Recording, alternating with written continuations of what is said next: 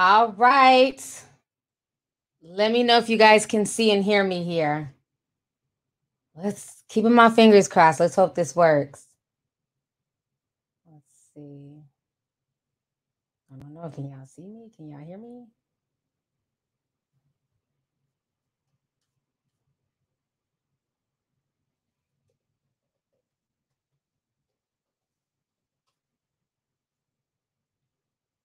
I don't know. if y'all see me? Oh, Can y'all hear okay. me? I okay, good. Y'all can see me and hear me. Yay! Shit! Oh my god. Thank you guys. Um I'm on StreamYard. I don't know what is going on with YouTube's new live streaming application. Hey you guys. hey mods. I'm seeing everybody in here. Y'all like the hair? Yes. you know how like you be forgetting that you ordered something.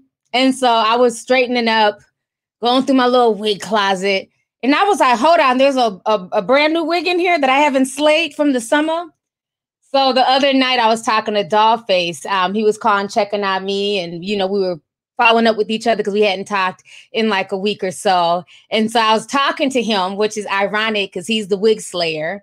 And I was slaying this wig while I was talking to him. So I told him next time I go live, let me know if I did a great job. so I'm so glad you guys like it. Um, YouTube is bugging. They have a new live streaming system. We can't use the classic system to stream anymore. And that's how I was streaming, just using the classic. For some reason, the new version that they have, it's not working for me, honey, which should not be surprising because nothing ever works for me on YouTube the way it needs to. Um, today was just giving me more errors. It wasn't connecting. So I was like, Crystal Nicole texted me yesterday and was like, just go on StreamYard the next time you have issues. And I'm like, you know what? Perfect idea. So that's what I'm doing. I'm StreamYarding this. You guys can see me on Facebook and on YouTube. So I hope everybody's doing good. Oh my gosh, I love the hair. Yes, honey.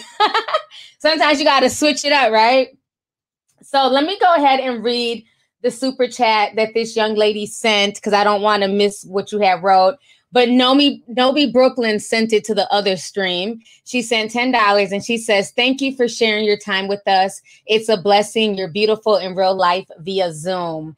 Thank you so much. And I had an awesome time yesterday when YouTube wasn't working. I had to, you know, run errands. So I ended up doing a two and a half hour Zoom session and we had a good time. I hope you guys like learned a lot and walked away with more knowledge about the medical system worldwide and you know everything that's going on with the school system. So we had a lot of deep conversations. It was really nice to meet a lot of you guys and talk to you guys.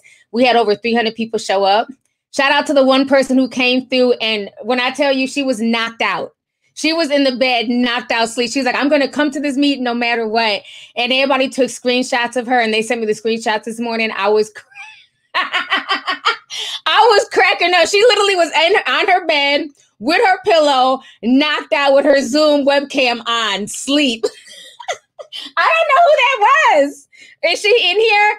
That had me cracking up when I seen he was sending me the screenshots. Like sis was like, I'm about to come to this meeting, hook a crook. And she was in there knocked out, sleeping on the bed, and everybody was taking screenshots of her. But you know, that that's family, you know what I'm saying? That's what family does. Um, shout out to Javon Drew. Thank you for the $49.99. I appreciate it, love. Thanks for coming through. Um, Alyssa Stroud says, Hey T, today is my 31st birthday. I have been watching you since 2012. Thank you for being unbiased. Um, thank you for bringing unbiased, informative news, sending love. Thank you so much and happy birthday to you. Thanks for coming through. I really appreciate it. So, honey, Oh, it's been a day. It's been a day. So we got over a thousand people. We got like close to four thousand people in here watching. That's what's up. Um, the Brandish show says it's the blonde for me, sis. I'm glad you're feeling better.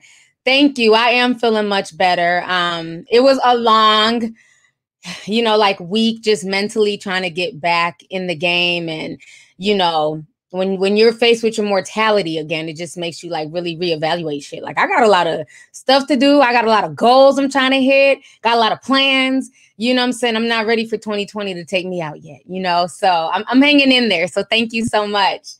Um, yeah, so the Zoom meeting was was cool. I really enjoyed it.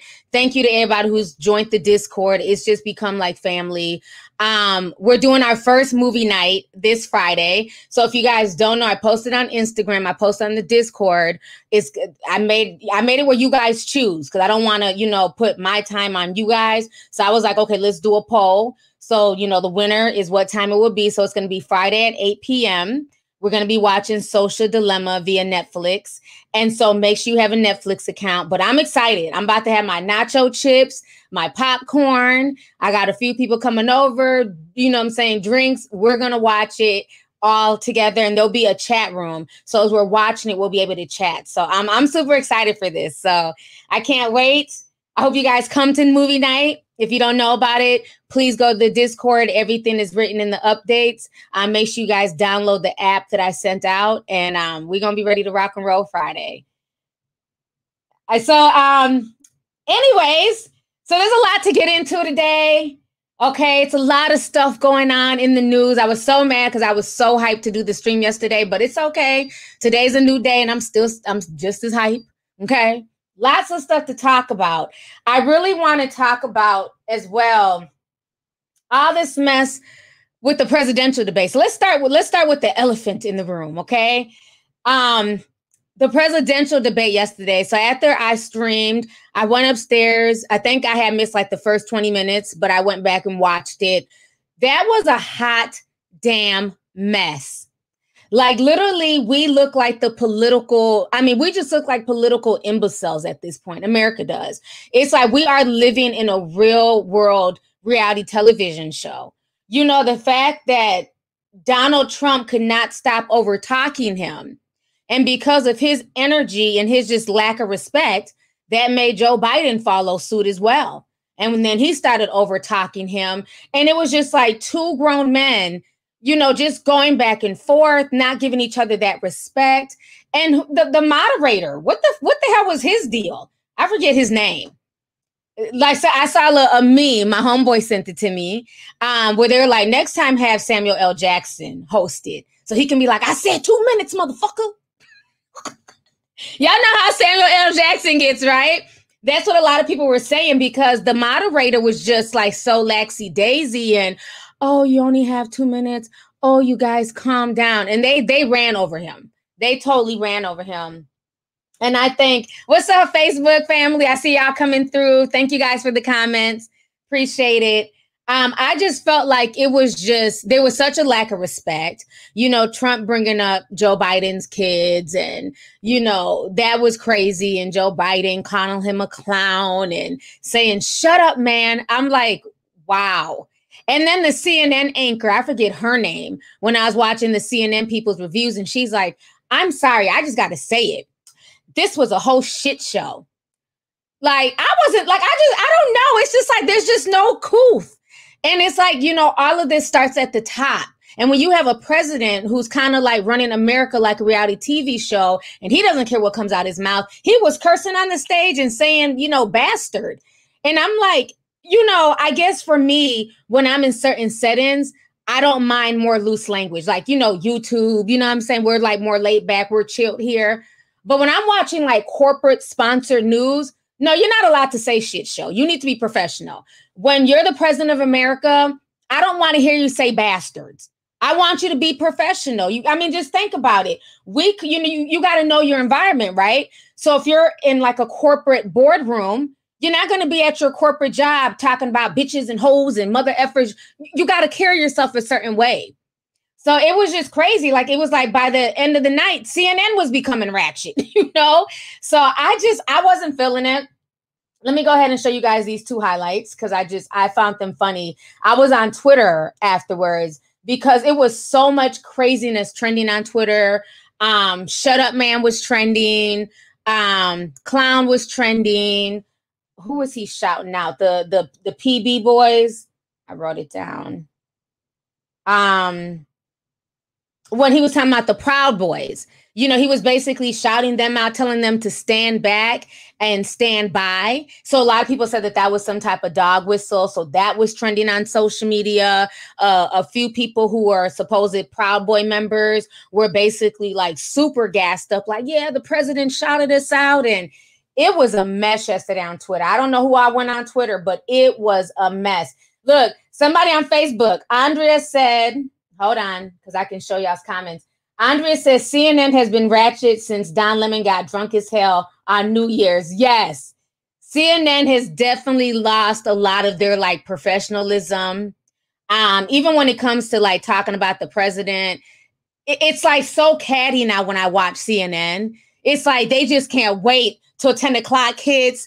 Cuomo's passing, you know, his hour over to Don and they're gossiping like little schoolgirls, like, mm-hmm. And then Trump did this, and oh, you know he didn't pay for his taxes. What? Say what, girl? Uh-uh. I'm like, seeing that is so ratchet. I'm, I'm here for it, but it's ratchet, okay? The when they when they pass the buck to the next, you know, to the next hour segment, it's just it's a mess, honey. It's a mess. The way him and um Don Lemon be going back and forth. I be dying. Like, what Trump do today? Uh-huh. Well, you know I'm gonna hit on that. Don't worry. Uh-huh. I'm gonna keep my foot on his neck. I'll be like, what? Like, is this CNN or fucking Instagram? You know, so it's it's it's funny. It's funny. And Fox too, they're they're messy. You know, this is like a, a level of, of just unprofessionalism in the news.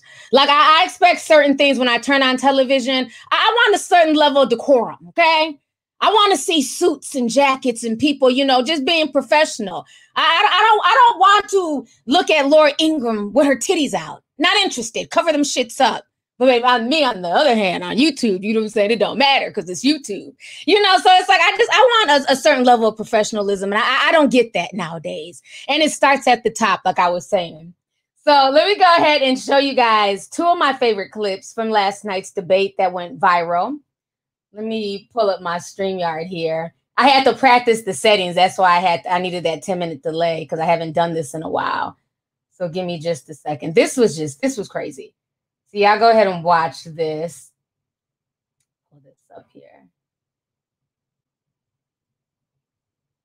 Okay. The question is, is the radical left. Will you shut up, Listen, who is on your list, Joe? This is. I mean, like, just the fact, like, they just they don't care. Let me pull this up and share this screen. So now this is the second half here, the second debate. Okay.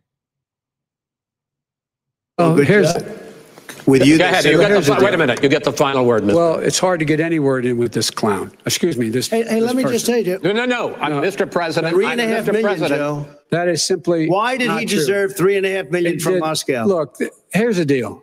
We want to talk about families and ethics. I don't want to do that. Okay. So let me come back on the screen here. I mean, it's like that's stuff that I expect from social media. You know what I'm saying? That's stuff I expect from social media. People calling each other clowns and saying, you know, shut up, shut the hell up. It's like this is this was um look, somebody said Trump's track was showing. Um, this was a political debate. I hate how fast it moves on here because if I click on somebody's name, I can't click them off. Hold on, let me try and find their name. Boss lady. So I can click her name off because I accidentally clicked on it. Okay, there we go. All right. So it was just like a level of just like, it was just weird. It felt like a social media debate. That's like me and, you know, a, a random commentator. We're going back and forth and we're shooting the shit and, oh, you a clown. I don't agree with you. But it's like, is this really the presidential debate right now? Or am I, or am I tripping? Because they were just so lax in the way they were just acting and carrying themselves. It was crazy. It was straight crazy when he said that. He was like, he's a clown. And then it was like, all you saw were people on Twitter making all these clown emojis. I'm just like, social media has literally webbed itself into the fabric of America. You know, those are words that you see on social media. That's a meme. You know, so it was it was crazy. It was a hot mess. I mean, people have been clowning all morning about this debate. They really have. Um, let me read some of these super chats here. Um, Daniel Jade says, just got in. Hope I didn't miss much. No, we just started. So welcome. Thank you so much for the super chat.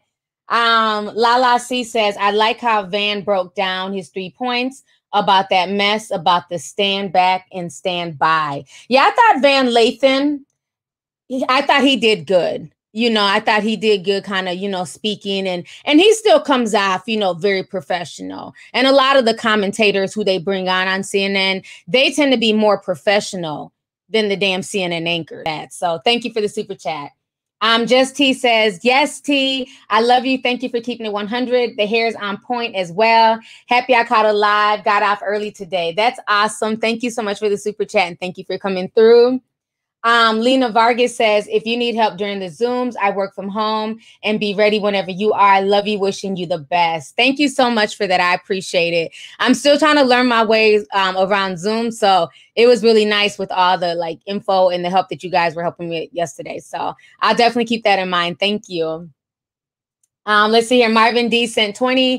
He says, Hey T, love the hair, looking beautiful as always. Thank you so much, Marvin. Thank you for the super chat. Appreciate you. Um, Evan sent 999. Evan says, Hey, Miss T, been watching you since I was eight. Oh, since I was eight with, with the fertile lady, I'm 16 now. Oh, wow. So you really were eight. Okay.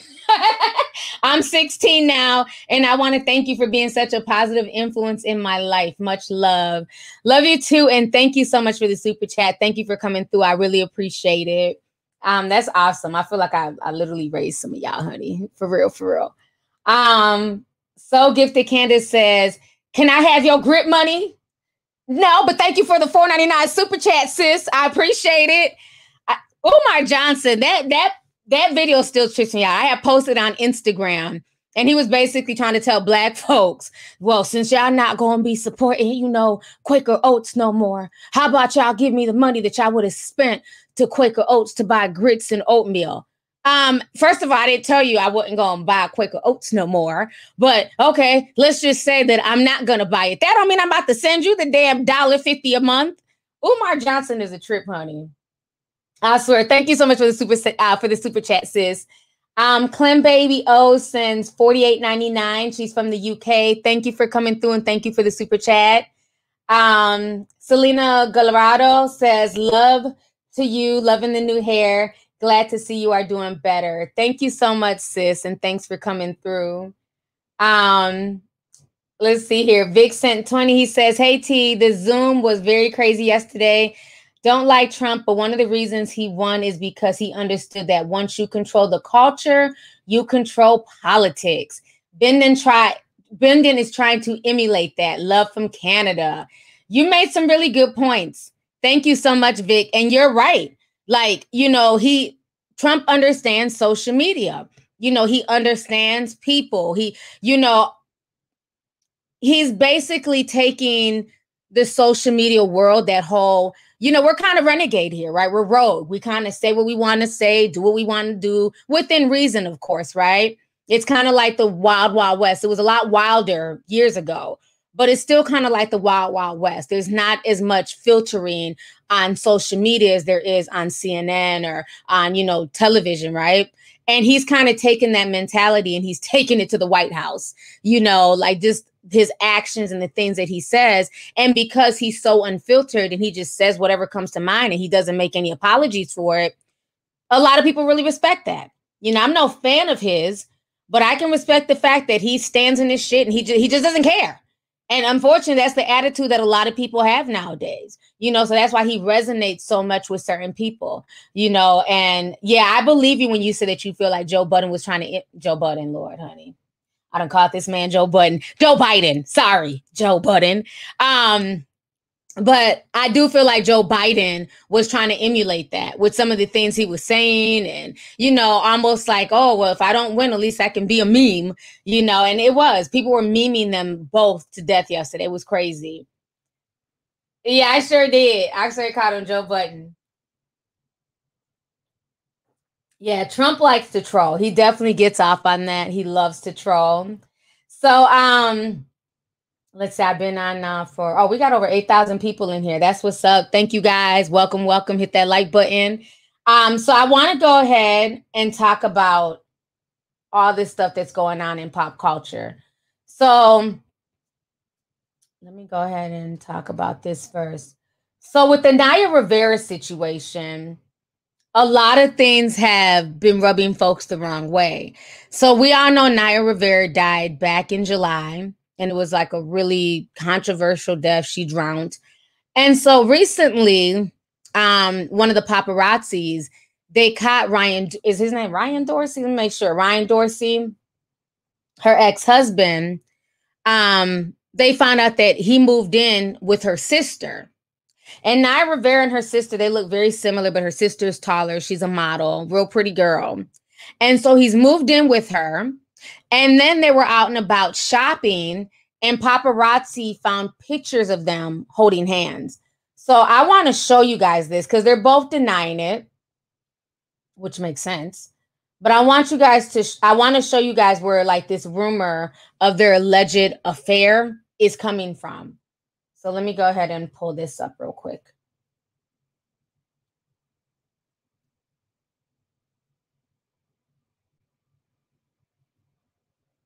Okay, so this was reported by the Daily Mail UK. Let me show y'all these pictures. So that's Ryan Dorsey. That is um Naya Rivera's sister. And you know, they're going shopping. Okay, cool. You know, cute little Yeezys. We see you, Ryan. But this is what kind of has me like, um, this hmm, this is kind of suspect to me. Okay. And I don't like to assume, you know, things or just kind of throw stuff out there, but why are they holding hands? His hand is not even on the railing. So he can't even say, Well, I'm holding the railing and holding her hand so she doesn't fall because her cell phone is over here. You're not even holding the railing. So if you were both to fall, you both fall on your ass. So I kind of thought that was interesting. Also, you know, me looking at stuff, it, it, looks like they're holding hands. I don't know. To me, it does. Maybe they're not. It, it looks like they are. Even with that, they're wearing matching socks. I, I just read into shit. They're wearing matching socks. I don't know about y'all, but those aren't like just regular white Hanes. You know what I'm saying? Like just just socks that just, you know, end up like in the pack.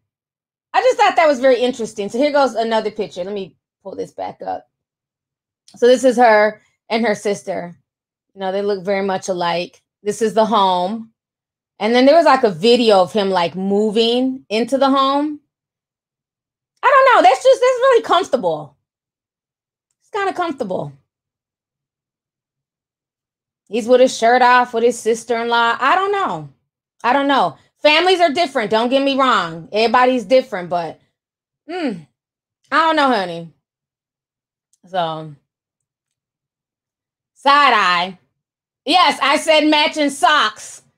That's that's the nail in the coffin. Their damn socks match, and those are unique socks, so they got to be messing around. Now, I mean, I'm, not saying you know one. Did y'all just put up the sock emojis? um, Glace Water done, done, done put up the, the damn sock emojis. You know, I'm not saying that that's like the the uh, the flaming gun, but I think people have the right to be suspicious. You know, and so she came out and she's she's denouncing it. So I want to read what she said yesterday. And then he put up a whole 11 minute rant and I posted that on my Instagram page. Honey, that damn rant it was a bigger snooze fest than Brandy and Monica. I'm like, get to the point. Just say you're not fucking her. That's it. That's all. All this, and you know, my my son lost his mom, and and we feel terrible about that. I'm not trying to make light of that, but it's like he kept bringing the son into it. Well, my son wants me to live with his auntie. Really? He just turned five. I mean, it's just it's just weird. I've never had my kids say, "I want you to live with your ex-wife's, her ex-husband's brother." I'm just saying. So I, I thought his rant was just kind of a little bit all over the place. And really, if there's no if if there's nothing going on, why even explain to strangers? You, I can't believe I'm doing this video. I can't believe I'm explaining myself to a bunch of nobodies and you know people on the internet.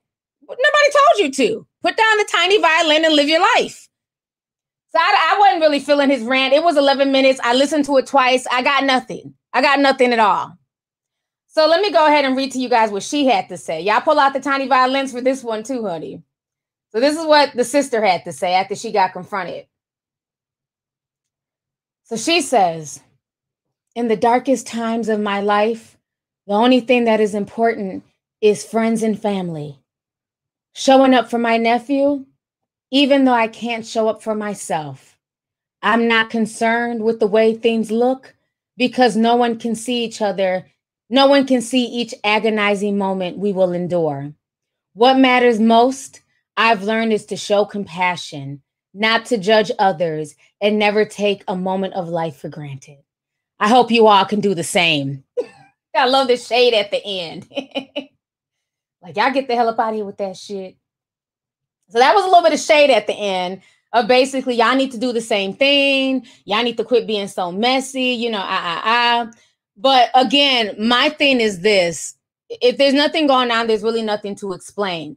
But that you have to be, you have to be fair. That people are there, there's going to be red flags raised, and what people don't understand is when it comes to like tragic situations, a lot of people connect over tragedies. Okay. Can we talk about 9 11 real quick without YouTube, you know, messing up the algorithm? A lot of 9 11 widows. Remember, you had whole fire departments of widows because all the husbands were killed. So a lot of the surviving firefighters went to comfort these widows' wives. And they ended up getting married to them, dating them, you know because grief can bring people together. And i'm i'm in no way saying that you know this is like proof that they're messing around. I'm, I'm in no way saying that. But what i'm saying is that you know grief can bring people together. Period. You know and they're not beyond that she's a beautiful woman ryan dorsey is handsome and my thing is if y'all weren't living together while naya was here i just find it strange and another thing has anybody asked where are the grandparents like I understand wanting help, but where are the grandparents? It, it'd make more sense if he moved in with the grandparents, the mother and the father of Naya Rivera before the sister. That would make more sense to me. So yeah, it's, it's just I, I, think people have the right. Yeah, trauma bonding. Thank you, uh, Lisa Dale. That's what it's called, trauma bonding, where people bond together during tragic events. You know, and maybe they haven't you know, done anything physically, you know, I would hope not, but just that emotional bonding. And it might help them, but I, I, don't know. I just, you know, Hollywood is weird. Hollywood is a strange place. People have a right to question. Like, hold on now, she ain't been dead, you know, a few months and you done packed up all your shit and moved in with the sister. What's going on? And then, like I said, his explanation was so, you know, and then she you know, I, and then when people try to make statements and try, you know, throw it back at the people, like y'all need to do the same and quit judging and quit. Well, we wouldn't have judged if paparazzi wasn't popping up with all these pictures every other damn day. Y'all the one walking through Target, you know, hand in hand with matching socks. Shit, we just sipping tea, confused. I don't know, damn. Anyways, yeah, thank you. I'm glad y'all see where I'm coming from. The mom and dad are still alive. He was swimming with the daddy the other day. They went to go swim at the at the lake, which I find strange. But yeah, they went to Lake Piru to go swimming together. So why aren't you moving with the daddy? Y'all swimming together in the damn lake that you know that that drowned Naya. It's just weird. And I had the right to question weird shit. Let me go ahead and pull up my um Instagram. I'm gonna just play y'all a snippet because when I Can't this was a snooze fest, I was not impressed, honey. I was tired. I was like, oh shit, he ain't done yet. Oh, Oh, okay. So, well, what was the point of this this 11 minute rant, sir? Let me go ahead and play this. Give me just a second. Pull it up on the screen. Right, here's his rant. I'm about to even um, address any of this nonsense. I haven't really read the news or social media in months, sometime in July. Um, I usually don't read comments on my own stuff because, uh, you know, I just know how there can be 50 good things said and five negative ones. And somehow as humans, we uh, somehow get those five negative ones um, stuck in our heads and wondering how people could say certain things.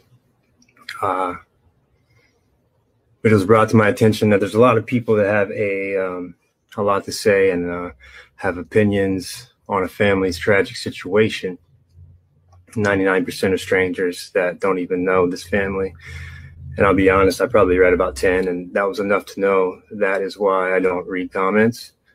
Um, you know, there's people making judgments, um, they're making assumptions, they're sending um, terrible messages, wishing death upon strangers that they truly know. Ain't nobody doing that shit. About. Get off my screen. Ain't nobody doing all that, sir. Stop. Oh, people are wishing us death. Oh, we're being harassed. I don't read comments, but yet you're making a video. So you get what I'm saying? Like, sir, if you, we would, are y'all fucking or not? That that was just get to the sauce. No, I'm not sleeping with her. I moved in because of this, this, and that. I don't like when people start their stuff trying to trying to shame the public. Like I said, we and and the thing is, who's gonna send y'all death threats? We feel bad for y'all. You lost your baby's mother, your ex-wife. She lost a sister. I would hope nobody's sick enough to be sending them death threats, but people will be asking you questions like, hey, what's up with this? Y'all smashing or not? Y'all are wearing matching socks. Are you dating the sister? Those were the questions I was mainly seeing people. But of course, they, they got to make it, oh, they got to add sauce. Oh, we're being threatened. By who? Even if y'all did get together, what the hell can the internet do about it? That's y'all, that's on y'all. Anyways, y'all heard how melancholy and dry he spoke. He spoke like that the whole 11 minutes.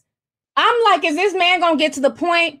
Somewhere in the middle, I need timestamp because it was so boring. Is when he decided to talk about the little boy, and supposedly this suggestion of him moving in with the sister came from the son. I'm just not buying it. I'm not buying it. Little kids will say stuff like, "Oh yeah, I want to see my TT," or "I want to see Auntie," They'll say that, but I, I don't see a four year old who just turned five saying, Hey, dad, I not only want to see TT, but I want you to move in with her. We need to be around her 24 7. He ain't say that shit, sir. Stop putting words in that child's mouth. Okay, let me stop being messy, okay? I don't want to come off as heartless, but I just I just see through bullshit. Y'all know when I see through bullshit, I just, you know, I, I, I tune out. You can't you can't move me with fake tattoo tears and trying to shame the public. And we're just asking questions. We're minding our own damn business, okay? These pictures fall in our lap. Shit. We trying to focus on the presidential debate. And every day the media's talking about here goes some new pictures of Ryan and you know Naya's sister. That's it. That's all. We're just curious. We don't wish y'all death. Want you to, you know, we want both of y'all to be able to mourn in peace and, you know, do what you guys need to do as a family, but also don't bullshit us either. yeah, I think people have the right. Everybody's still laughing about the matching socks. That's the damn smoking gun. Look at their socks. you know, social media, that's how people connect shit. You know what I mean? So so I mean, like I said, his story was just it was just too much you know oh what was me? The internet is bullying me. Everybody you know, i don't read comments but yet and still you you're seeing all these comments of people threatening you. I thought you just said you don't read comments. Which one is it?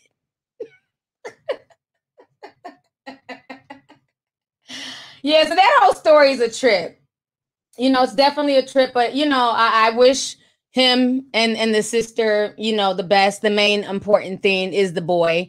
And i hope the little boy you know gets a lot of love and you know people just really supporting him. I hope he gets to go to some type of counseling you know because he was there. He watched his mother not be able to get back on that boat. So i'm sure he's going through a lot mentally. So i i just don't think he should have drugged the little boy into that. Like just own up and just say you know I just want to be around family. I'm just going through a lot, but to be like, oh, was my son. My son asked me to move in with my, you know, my, my fine ass models, you know, ex sister in law. like, okay, okay, sir. Look, Angie, uh-uh, Angie, Angie said they're fucking period. Oh Lord, y'all are messy. Let me read some of these super chats. Um, Kung Fu Moni sent five dollars. Thank you so much for the super chat, sis. Appreciate it. Um, Lisa Arroyo, uh, Arroyo 30 says, listen, T, I've watched enough ID channel. Okay, sis. Um, to know that this situation seems fishy. The way 2020 is set up, I wouldn't be surprised if they had, you know. And I'm the same way. You know, I, I, live for the ID channel, honey. That's why I be scared to, you know, go out on blind dates now because you know people are crazy and shit via the ID channel. Yeah, and that's how I'm saying. Like we we you know we we seen this. Like we're not we're not even judging you. Like this is normal, like we called it earlier. It's trauma bonding.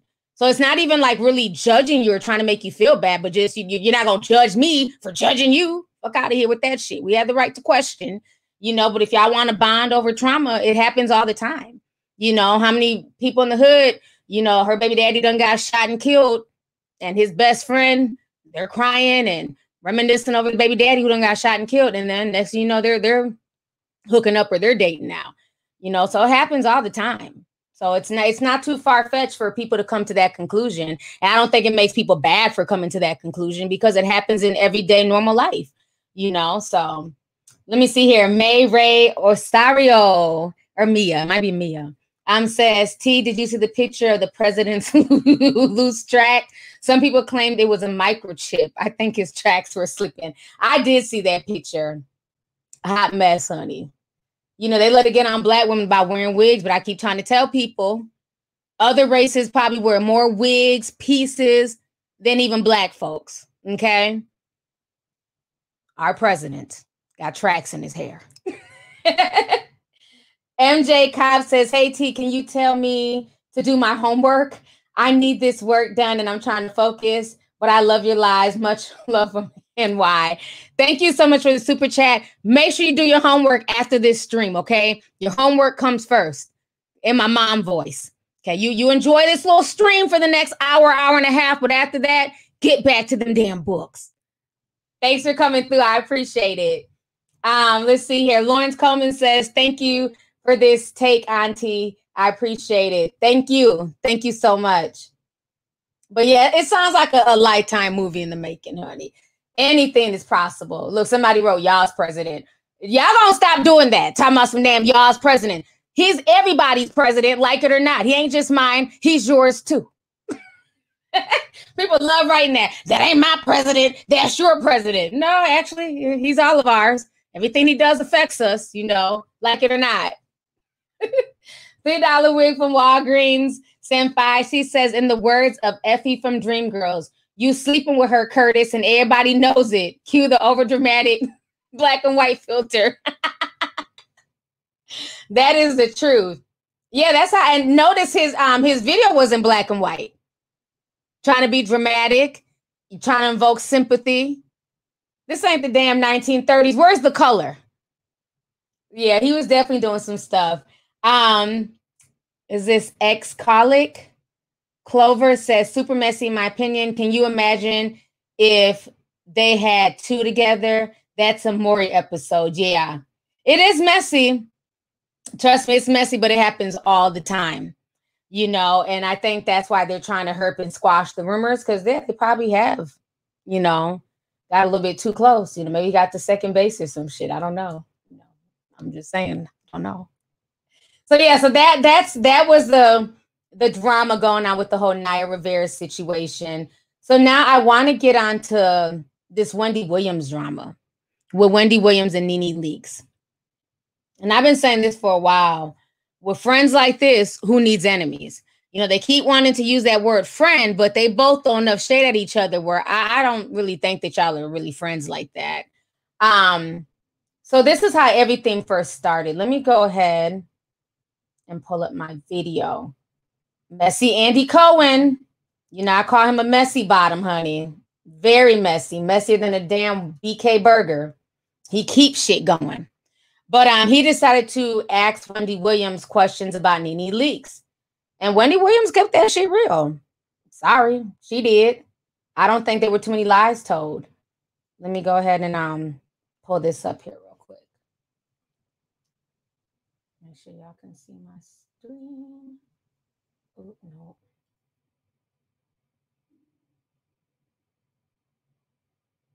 I gotta remove this and pull up another thing. Okay. All right. So y'all go ahead and listen to this. Wendy, um, going back a little bit to the beginning of the pandemic, we shot the big Atlanta reunion. We spent a, a lot of time I spent a lot of time kind of torturing Nene about her friendship with you, and the other women had really strong opinions about your friendship. What was your reaction to that conversation? Well, a lot of people have said uh, that Nene is using me to um, to I don't know for social media or whatever Nene would use somebody for, and I didn't consider it a usation. I've never been to Atlanta to see Nene. Nene likes to stay out of the house. So Nene flies to New York, and if she's here and I have time, I see Nene. If I don't have time, I let her know, Nene, I'm busy. Um, so I don't I, I don't listen to that. I know who Linnethia is, and it's something deep in the heart. Nene is my friend, and I know her as Linnethia. I don't know her as this person on reality TV, just what I watch, you know. But um, I believe, and I told you this also, um, I believe that this is not a truth. Uh, Nene has quit the show several times, and you'll have her back. And Nene likes attention, dramatic attention. Uh, I don't know what Nene's going to be doing for money. I'm not trying to count coins, but you know, the Housewives is that one thing that all the girls use to promote their other stuff. And while Nene is as famous uh, as Bethenny, Bethenny has turned it into a legitimate multi-million dollar situation. Do you know what I mean, Andy? Um, yeah, it's a it's a great driver for um, it's a great driver for promotion, and it's a it's a great place to be known and be out there. All right, y'all. So you guys Wendy, uh, so y'all just heard that. So give me just a second. Come back on the screen here. Okay. So I see we got over 11,000 people in here sipping slow honey and at least like 500 people watching on Facebook. Please make sure y'all hit that like button. It don't cost nothing. If I'm entertaining you right now, you in the bathroom at work, sneaking, trying to sip, you know what I mean? Hit the like button. It's free. So anyways, um, with this whole Nene thing, so that's how everything started with, with you know, Andy Cohen being messy, bringing up her name. And I just don't feel like they have a genuine friendship. I just, I've, I've said that for a while now but she's not lying when she says that Nene does do stuff in an over dramatic fashion. She likes to play victim, and that with her being an OG, she should be a lot further in her brand where she really doesn't, she really shouldn't even need the Real Housewives of Atlanta, you know, because like Bethenny, she's been able to be a multimillionaire, you know, with that. She works stuff in her contract, like, because, you know, a lot of people don't realize this a lot of these reality TV shows, they do 360 deals. I didn't know this until one of my friends in the industry was telling me. They do 360 deals just like the um the record labels. And those 360 deals came about because of Bethenny Frankel. Because she used her platform on television to start that skinny girl martini line and liquor line and you know all types of stuff. So she was able to really brand herself. Bethenny is a true businesswoman. She even had her own talk show at one point in time. So because she made all of this money from Bravo and didn't have to pay them anything, they don't get no residuals off of it. You know, they just got the footage that they filmed from her. They've now made it a clause in the contract that if you do anything where Bravo has to come and film and they're promoting your product, they get a cut of that. So that was put in place behind Bethenny. So um so I think for a lot of the women, you know, it, it's harder and there's certain things that they'll promote and they won't if they're not going to receive any type of check from it. Because remember they used to follow Kandi around when she did her like bedroom Kandi parties and stuff like that. But once they realized they wouldn't get no money from it they stopped. So now if you want certain things promoted like when um Marlo was doing like her little hair thing and that was part of the season trust and believe they got an extra check for that. So I do feel like yes, she should be a lot further but like like people are saying there's also white privilege. There's also where people are going to support a Bethenny and some of those other og's a little bit more than even the nene. Because let's keep it real teresa should not have had the comeback that she's had period yeah, and I'm a big fan of the Real Housewives of New Jersey. I've been watching from day one. I watched from the time Teresa was flipping over that damn when she was flat chest, ain't had no damn titties, and she picked up that fucking table. like, ah, prostitution whore. I'm an OG of these shows, bitch. You can't, honey. I was here from day one. Remember, Teresa ain't had no damn titties. She went and got her breast implants like a few seasons in, and she picked up that damn table, was shaking it and shit. Prostitution whore. that never gets old to me. So I'm talking about I've been watching the show. Watched her do all that fuck shit with Juicy, you know what I'm saying? Her husband, Joe Giudice. you know, Juicy Joe, and, and then they went to prison, and you know, they even got they even got that was like a benefit because remember they got to do their prison sentences at different times so that way their kids weren't affected. But if that was just my black ass and my black ass, you know, boo, we both were getting locked up. Kids would be in foster care. So yeah, there's definitely a privilege. Okay. Oh yeah, she was the hawk that season, honey. Teresa was flipping tables and trying to whoop ass. Okay, so Teresa was just, you know, so yeah, Nene's hood. Nene can be annoying, but she ain't done nothing. Them, them other housewives, they've gotten very physical the Real Housewives of Atlanta, they might be petty. They might do stupid shit like Phaedra, you know, time, you know, just spreading lies about Kandi, talking about Kandi try to, you know, date or somebody. You know, uh, Cynthia might kick somebody in their stomach, you know, by accident. But the Real Housewives of New Jersey, oh, they was on some ratchet mafia shit. Remember Caroline Manzo? That bitch thought she was like the damn mafia princess. Don't nobody mess with the Manzos. She thought she was running the show. So I mean, the, the, a lot of them other housewives are very ratchet, but they've been able to be elevated and put on a pedestal and you know revamp their image. Now Teresa's, you know, oh, she's moving on with her life and you know, life after prison with Teresa, all these little spin-off shows and and everything else. So I can understand Nene feeling some type of way. But Nene also needs to understand that her attitude is why a lot of people don't care because there was a point in time when she was I'm rich and I be I cash Trump checks and she started to think that she was bigger than the show. Remember, she went and got into acting. She was on Glee for a while. She was doing, you know, the new normal, and she kept making herself seem like she was better than the other women on the show. And then when all that, when Hollywood didn't pan out for her, then it's like you have to come back and kind of be humble towards other women. And now you want to be cool and, oh, you know, let's all, you know, kick it and, and try and make amends. But you left a lot of hurt feelings when you just departed. And then it's like she almost had to like come crawling back, you know. So that's why a lot of people they just they don't have as much sympathy. So, anyways, Nene responded to the situation. But yeah, people forget I'm glad y'all remember the Real Housewives of New Jersey. They are ratchet. Okay. There's been hella fun. Remember, matter of fact, uh, Jacqueline's daughter. Let's let's bring it back. Remember when Ashley, at the time, Ashley was 19 years old when she pulled Danielle Staub's hair. That's a grown woman. And she was like, love and light, bitch, and pulled her hair when they was leaving the damn cocktail party. Uh-huh. She couldn't pulled my wig. I'd have beat the brakes out that 19 year old. Bitch, I'm old enough to be your mama. Don't you ever put your hands on me. But Danielle's a good one. She was like, "Oh, I'm suing." I was I'd have beat the brakes off of Ashley. so that's what I'm saying. Like the, the Real Housewives of New Jersey, hood as hell, always putting their hands on each other. But I was here for it though. That, that's my damn. That's my show all day. I love the Real Housewives of New Jersey. I like all of them. Even Teresa. I like Teresa. Glad she's back. But let me go ahead and um read to y'all what Nene had to say. Honey, she wrote a whole book.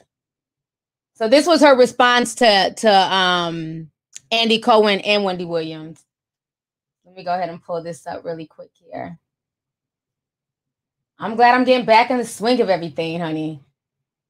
Okay. So Nene says both are hold on, both are effing their ratings. Oh, both their effing ratings are low by queens. Then she says she's on cocaine, so they should stop using her to talk. They both need my help with their poor ratings. Okay, that's a reach, Nene. Um, let's see here. She says, keep trying me, sir, and I'm gonna let the world know who you really are. Then she says, I will always eat and eat good. Believe that. I have always believed in multiple streams of income. So the leaks are good. You owe cocaine head, you owe racist, you hold on. No one knew you until you knew me. Remember, I'm icon. Don't forget. Then she says, always manipulating black women to say negative things about each other while they sit and enjoy us tearing each other down. Remember, hashtag Black Lives Matter. Remember Breonna Taylor. Remember the most racist network. See that that's that gaslighting shit that people been doing all season. I, well, why did I just call 2020 a season, honey? All 2020 that's just been irritating me. But let me keep reading. Um, they're gonna leave my name out of these shows. Send me your best discrimination attorney info to book Nene at Gmail. It's war. The racist is the master manipulator. They using me for ratings like they've always done. We strictly talking the OGs. I was the only black OG. My white counterparts were elevated and given full seasons every season. Each season, I was given less and less. Don't ask me, ask Andy and ask at Bravo, ask them why. So she shows like Kyle Richards, Ramona Singer, um, how they're there every episode. Teresa Giudice. Now you know damn well Teresa went to jail for three years and she wasn't there for every episode. Nene, stop the foolishness and the lies, ma'am. she says, "So much, you guys just don't know. I'm going to bed now. This is systemic racism. The systemic racism is greater than you will ever know." Okay, let me come back on screen. Okay first and foremost, I'm I'm not here for the gaslighting and the BS, okay? Um, like I said, Teresa was locked up for several years, so no, she was not there every episode, even though she was an OG. Second of all, you know, she's complaining about how she was seen less and less. But again, like I was just saying, you removed yourself off of the show. You came in at a point where you thought you were better than the other women on the show and that you didn't need the show. Y'all remember that reunion when she was telling Andy, Do you want me to kiss your ass? And just being really disrespectful. Then she left for like two or three seasons and she wasn't missed. She thought leaving was going to make people be like, Oh my God, where's Nene? Where's Nene? But what it did is it elevated people like Kenya Moore and others into that spotlight. They filled that void once Nene left. It elevated Kandi into becoming more of a favorite and an OG, you know. So, and I think that really bothers her. Now, the thing I don't like is now, like I said, it, it's a lot of gaslighting in 2020. Not just her. Jeffree Star did the same thing. You know, Trish Paytas. Every time there's a racial topic, here comes Breonna Taylor's name. Elijah McClain. Y'all didn't even know this man before he went viral. Now nobody can stop talking about him. You know, and it's like now we're talking about systematic racism and, uh, you know, oppression.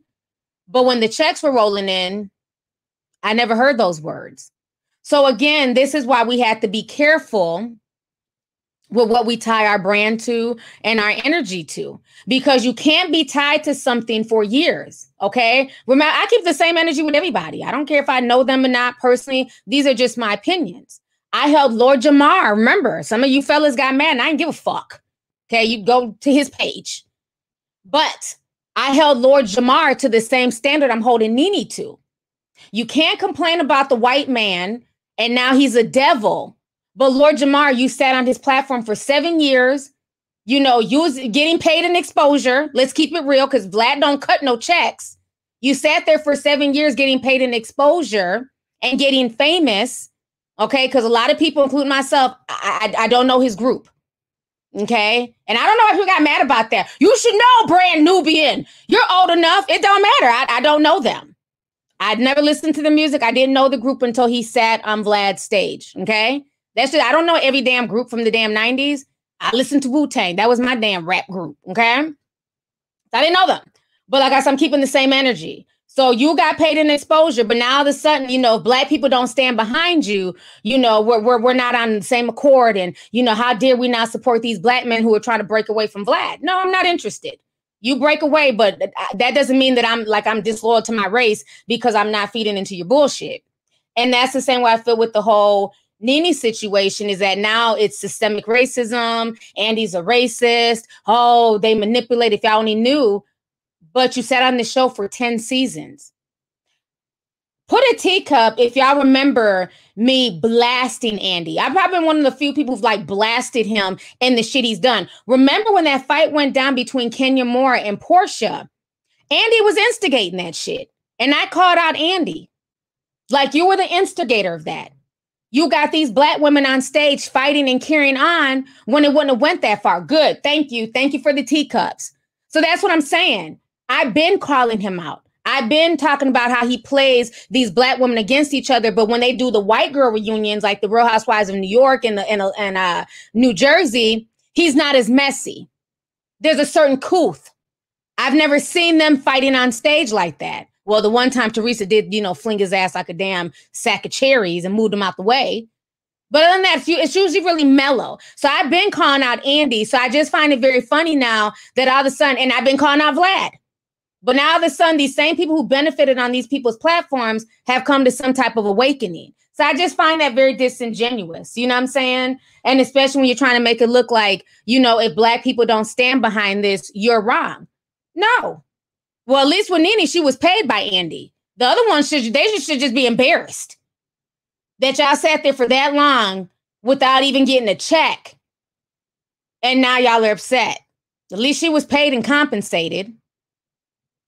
You know, but that's just how I feel about the situation. I just don't like the whole, you know, Black Lives Matter, Breonna Taylor, Jennifer Williams did the same thing when her and Tammy got into it. You know, it's like, okay, even if you don't find the joke funny or distasteful, like let, let's stop with the whole, you know, black women need to be amongst black women. Well, no, people want to call you out, regardless of your gender or race, people have the right to call you out if you're on some goofy shit, you know? So I don't I just I just I'm tired of the 2020 gaslighting and I'm seeing that a lot. I'm seeing that a lot. Let me see here. Um, Chantel Lowe sends $50. Thank you so much for the super chat. Says, Hey, Auntie, it's been a minute since I've been on here, but I'm happy to be back and I'm happy you're feeling better. Love you. You look extra gorgeous today. Thank you so much, sis. And thank you so much for the super chat. I really appreciate it. I'm glad you're able to join me today. Um, let's see here. Night God. What's up, Brandon? Says, Hey, T, yes, Nene needs to humble herself because the same ones you see on your way up, huh, you better let them know, honey. That's the Southern saying, are the same ones you see on your way down. Be careful how you treat people because karma is real. Love you, TT. Love you too. And thank you so much for the super chat. And that's the that's the the cold hard facts. You know, when she thought she was going to be mainstream, you know, she really looked down on that network and you know on Andy and the girls. And so when she decided to come back, they really didn't welcome welcome her with open arms you know, because by then these girls had formed their own cliques and they were, you know, genuine friends. And, you know, Porsha was like one of the, the favorites on the show as well. So yeah, it's been a lot. M Move says if Vicki can be fired, then why can't Nene? Vicki is from the original. You better tell it.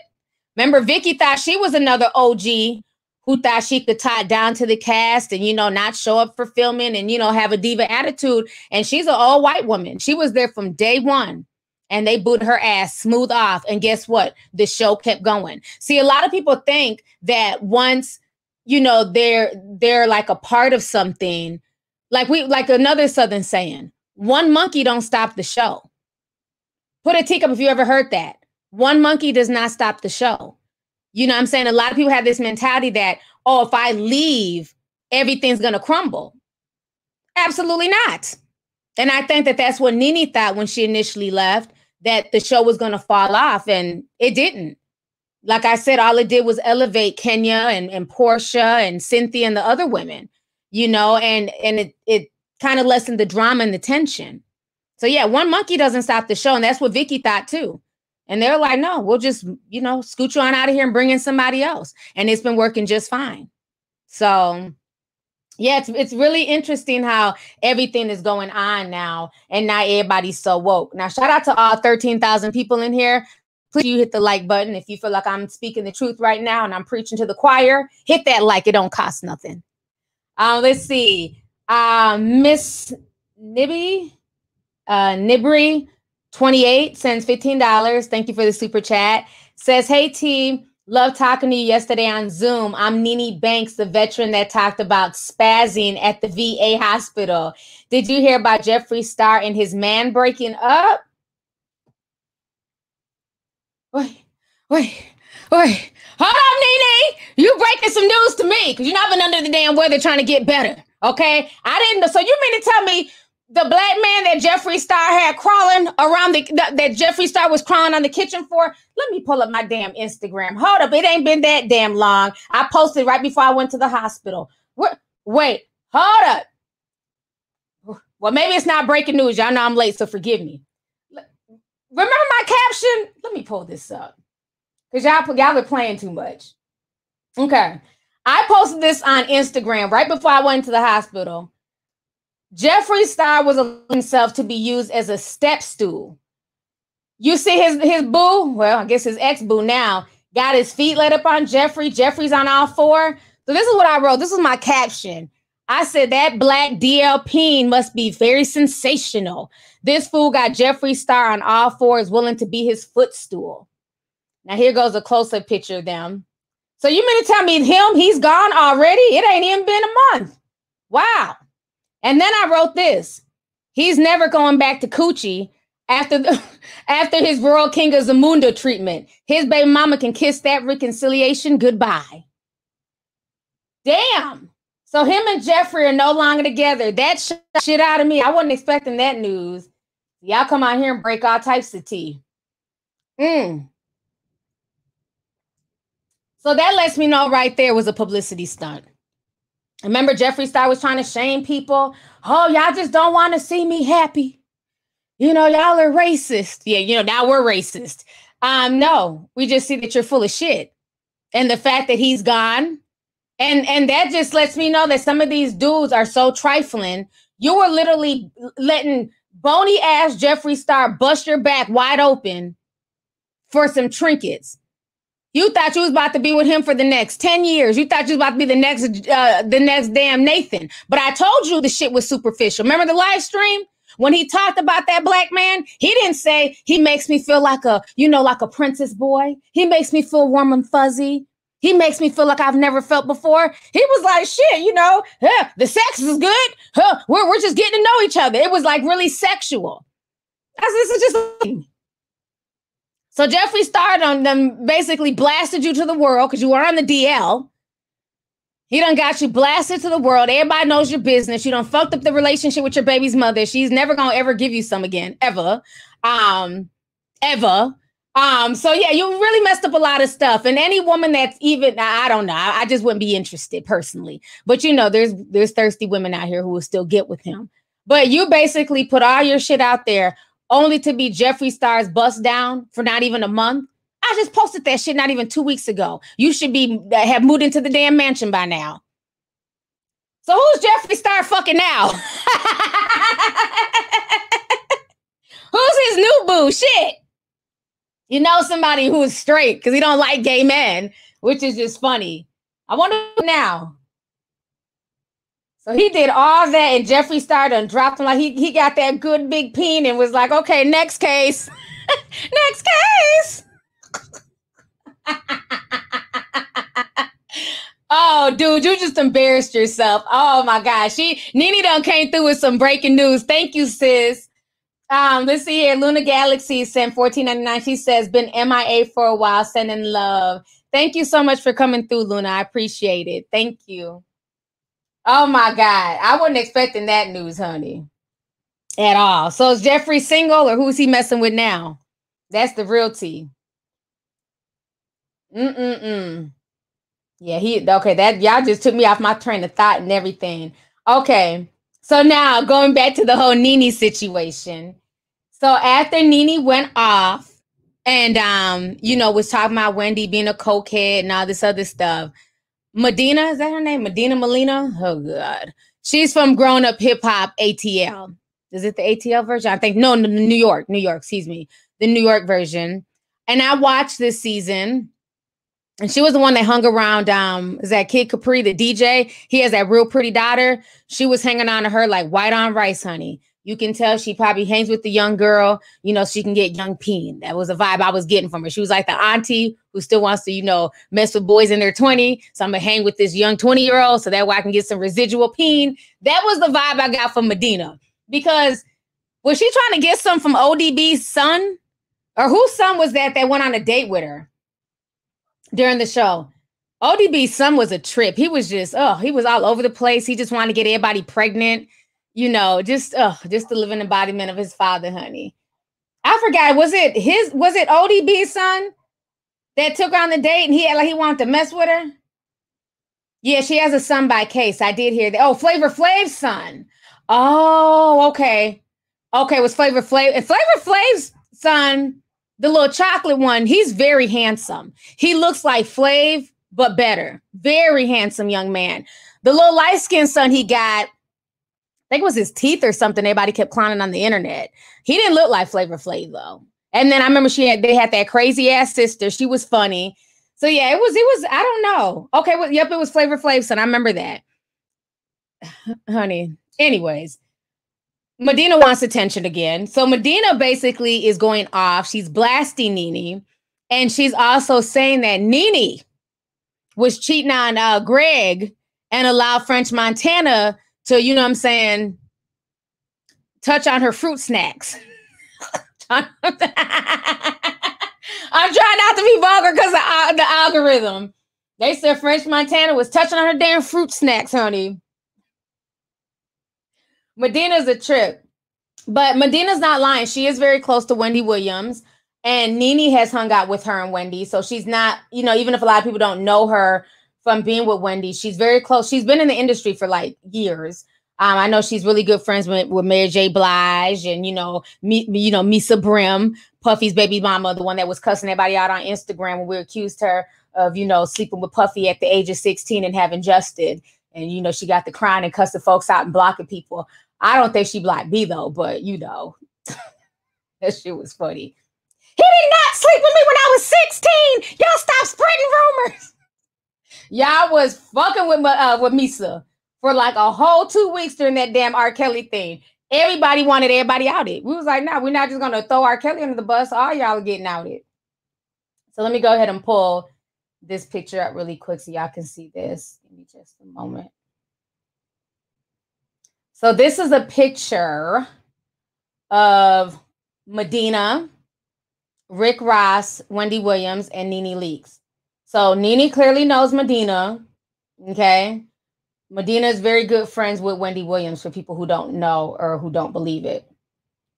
So let me go ahead and play you guys what Medina took to Instagram to say today. She did a five minute rant. I'm not going to play that. We ain't got time. Um, but I'm going to play her one minute rant so y'all can hear. Okay. That. Hold on, real quick. Pull that up. You know, Medina crazy. Honey. She ready to go off. Okay. We're going to stop with these lies. We're going to stop with these games. Why don't you start telling the truth? First of all, you snuck your way back into Wendy's life. You tricked me. Y'all asked me to have a sit down, ask her to come to dinner, which I did. Your thirsty ass flew on the plane the next day. She was like, damn. Um, she wasn't even going to go. I was like, you know, she jumped on a flight. She, she's like, she jumped on a flight, thirsty ass. So she comes to the dinner. Why? So you could be mean and evil and try to come back in her life and use her and lie on her? Why don't you start telling the truth? Talking about you, an icon. You're you're a whole bug. She won't even respond to you. I can't believe you have the nerve to say that. But why don't you talk about the part where when we was in the truck, you was letting French touch all on your snatch. That's right. You was all up under French Montana, a whole married woman, Nene. So what I'm gonna tell you is this: you better fall all the way back, keep everybody name at your mouth, because if you keep coming for people, guess what's gonna happen? It's gonna be more stuff aired out, more receipts shown, and I don't think you want that smoke, boo. So fall back. Okay. Oh, Medina is hood, honey. Let me get her off the screen. So y'all heard what Medina had to say. Medina don't play. The same way she acts on grown up hip hop is the same way she acts on social media. I remember a few months ago she was blasting her baby's father case. Said he didn't pay child support. Said he was broke. But yeah, that's when uh, Medina had to say she wasn't here for the foolishness. She wasn't here for what Nene was saying about her friend. And she is very close to Wendy Williams. They have a you know a solid relationship. That's why I never felt that Nene and Wendy's re- relationship was ever really real. I think it was a relationship of convenience and them just using each other. You know, bring Nene on the show, get some extra tea about the Real Housewives and you know stuff like that. So I think that's what that was. So let me go ahead and um, read these super chats here. Uh, Q sent twenty dollars. Says been a tea sipper since 2011. Love how you get all the facts before recklessly putting things out there. I got my mom, my sister, and my sister being tea sippers. We discuss things that you post. Much love from Wimberly, from the Wimberly and Johnson family. Thank you so much, Q. I really appreciate that. And yes, I will always, you know, for me, I'd rather do a video two, three days late where we have more information than trying to be first. You know what I'm saying? Because we see we're first and got a lot of these people. So nope, not interested in being first. So thank you so much for that. Um, Ollie09 says, Yeah, I caught another live. Sending my Naija sister love from Lagos. Love you, T. Oh, Eshe, thank you so much. I appreciate it. Thank you. I wonder what time it is right now. It's probably it's like probably like three o'clock in the morning over there in Lagos. so I really appreciate you joining me tonight. I appreciate it. Um, Daphne C sent ten dollars says, I'm glad you're back, sis. Didn't Jaguar say that you'd be the only one that she'd do an interview with? Mmm. Jaguar did say that.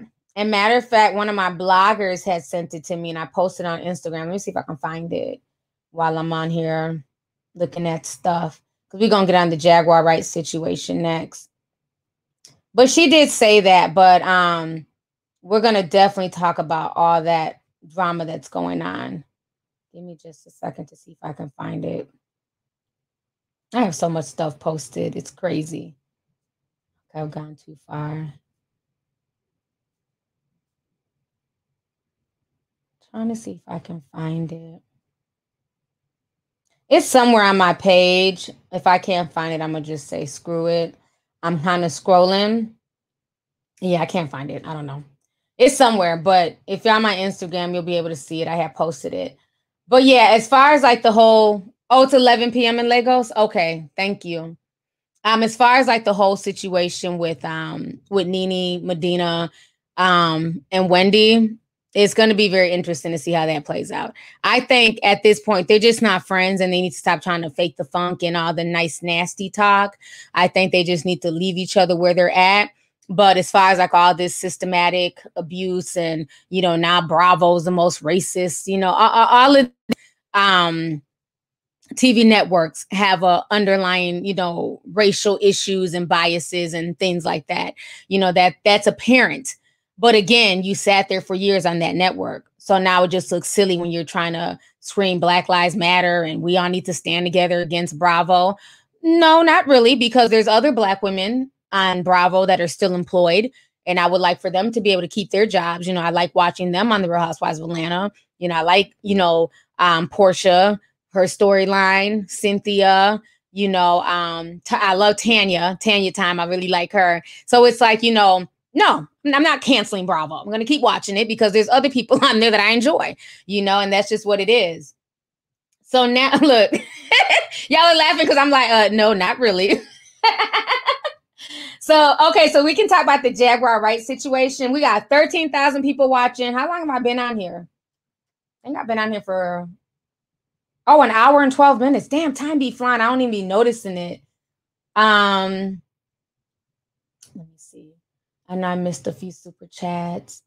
Keisha sent a super Keisha Wilson sent a super sticker. Thank you so much, Keisha. Um, Anastasia sent 3.99. Thank you, sis. I appreciate it. And then Alyssa L says, You make my day. Happy to see you. Love you, T. I love you too, and thank you so much. I appreciate it. So let me go ahead and pull up um, Jaguar Wright. Okay. Now, somebody had just mentioned that she wanted to interview with me, which was true. But um, I'm still, you know, I'm just watching everything play out. You know, I'm this isn't an interview channel. Um, and I've been done so wrong in the past from interviews of these so-called celebrities. You know, you interview them, then they act funny, like they don't want to share your shit, like you're, you know, you're beneath them, even though they want to come on your platform and, and use your platform and your audience to help better them. So I'm not, I'm not big on interviews anymore, but I thought that was cool that she put me on the same level for the most part as a Wendy Williams. You know I'm saying? That she would consider me a big enough interview. Me, Wendy, and Vlad. You know, because so many people try to discredit my platform and act like my platform is so beneath the other ones because they're more mainstream or, you know, Vlad TV is now a part of the culture. You know, Adam 22 is a part of the culture. Charlemagne the God, you know, Joe Budden. Those are names that are always seen as part of moving the culture. And then they act like Lovely T doesn't exist, even though a lot of these same platforms take from Lovely T. And a lot of these people who are now doing commentary, um, I paved the way, period. You know what I'm saying? That's not, that's never to be disputed. Just like for me, who paved the way was like a Philip DeFranco, um, what the buck you know, those were people who were doing uh Philip DeFranco, not so much, but what the buck was definitely doing celebrity news way back in like 2009. So, you know, they made commentary cool. So as far as like the yeah, exactly. Somebody said they have no problem watching you, but hate to give props. Exactly. You know, look, Hidden says everybody knows who you are. They do, but the way they act, honey, they act like you know they don't know. But I, I hear behind the scenes, people watch, or it's always funny when I go to like an event and be like, "Oh, you're you're the girl from YouTube." I'm like, "Who? You know me?" Like you know, so it's funny, but it's all good. So anyhow, Jaguar Wright has been on this whole campaign of exposing people. Okay. And so I'm going to play you guys the clips. They might be a little bit long, but I'm going to play you guys two different clips of her speaking. I time stamped this. I know where to stop everything. So we're going to first, we're going to hit on the Mary J. Blige first. We're going to do that one. That's the one I want to play for y'all first. So give me just a second. Make sure I have all my timestamps written down because there's two different parts in the Mary J. Blige thing that I want to make sure we hit on. Okay. Okay. So I'm going to play the video for you guys first. I want you guys to listen to this. Her time on Mary J. Blige. And I'm going to come on and, and play the clips of her talking about Puffy. And then we're going to go ahead and discuss. And I'm, I just had to keep it really real with this whole situation. So y'all go ahead and check this out. Going after Mary. Why ain't nobody asking Mary why she went after me? I was a Mary J. Blige fan, just like all of you. I was in a lot of the studios where a lot of her records were written and recorded. Shoot, some of Mary's stuff I heard before she did. Me and Mary J. Blige have the same producer that we work with, Chucky Thompson. Well, she don't work with Chucky no more because I guess Puff told her that she couldn't. You know, Chucky Thompson gave her the best music she ever had and she stopped using him. Even though it's his work that made her famous. See, don't nobody ask those questions. Don't nobody ask why Easy Mo Bee didn't do more tracks for Mary. Because Puff was in control. P. Diddy, Honeycomb, was in control. Mary J. Blige has turned her back on almost everybody that's ever cared about her, ever loved her. Her and her sister, Latanya, Latoya, whatever the fucking bitch name. They're awful people. Y'all just don't know it because you believe what their publicist tells you. Why are y'all mad at me? Because you'd rather believe their lies than believe the actual truth. She's a whole gay woman. She been gay ever since her and K-Ci ended it. And everybody knows it. So why is she still in the closet? LGBT, why is she still in the closet? In this day and age, if you are living on the down low, you just want to be a liar. That's why I came out. I didn't have to come out. And truth is, anybody who really knows me or really paid attention to me should have known I was a bisexual woman. If you didn't know, it's because you didn't want to know. So I came out. I actually had to call a few of my out and proud friends and apologize to them for not owning who I was, even with them. See, I had an image to uphold. What image? This is my image. This is me. I'm a person just like y'all. I am real just like y'all. Matter of fact, I'm probably realer than most, sweeter than most. But how would you know? I guess people don't watch all of the interview when they watch interviews. Yeah, J- Diddy is a shepherd for the devil. I'm sorry, I was talking to YouTube. I got a um. Everybody told me he was a shepherd for the devil, and I seen it for myself. Y'all want to know how divisive Sean Combs, Honey Combs is? Go talk to Father MC and ask him how he feels about the, the love of his life being being stomped to death, and all Puff wanted to do was keep it quiet so nobody knew that he was responsible because he didn't have the appropriate motherfucking goddamn permits to do half of the shows he was doing at Howard. Just to get by, just to get by. And he got by. He got he got all the way to the top. He got by everybody. And what most people don't know is he used Mary J. Blige to compromise a lot of people. Y'all seen all the documentaries? Oh, Mary went out and Mary Mary got all of the rappers, all of the rappers who were taken advantage of. All of the rappers who got very unfair contracts. She she sent them to him. She's no different than a procure for a pedophile.